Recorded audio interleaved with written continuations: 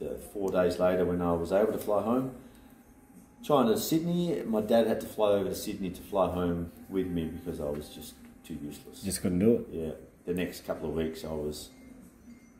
I remember just sitting outside on mum and dad's sort of swinging bed chair. It must have been nice weather.